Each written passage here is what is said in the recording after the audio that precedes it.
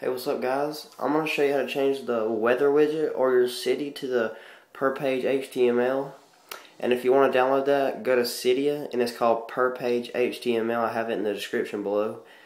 And um but you have to download uh, the HTC clock separate from the um, per page HTML. You have to download it separate.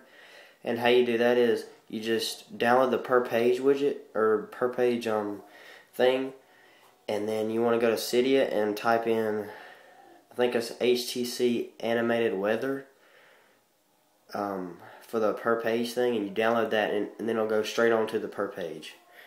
And this is what the per page thing looks like right here per page.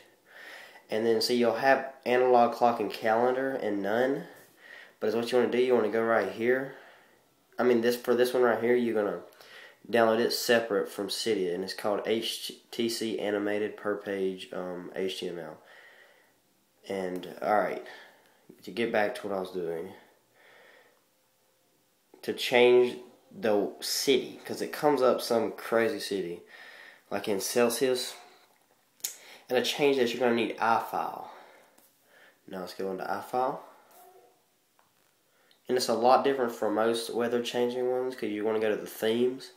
But it's what you want to do, you want to go to VAR first, the VAR, then mobile, then library. Then you want to go down to see per page, HTML. There it is. Then you want to go to the HTC animated weather. And you want to go down to see configure me.js. You want to click on that. Now this is the this is the part where you want to change it. See var local right there. And see in these parentheses it has a zip code. And in these parenthesis things or the quotation marks you want to click in the top right corner where it says edit. Click edit but I don't really have to do it but you want to click edit. Alright and you want to go inside the parentheses I mean the quotation marks and then you just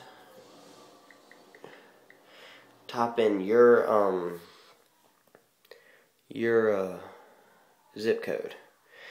And then, and, and it measures it in Celsius, where it says right here, var, var is Celsius equals false, or you can put true. It's normally in true, but if you want to change that, you just want to, you want to click edit again, and then go to false and delete, I mean delete true and then put in false if you want to change it to, uh, Fahrenheit.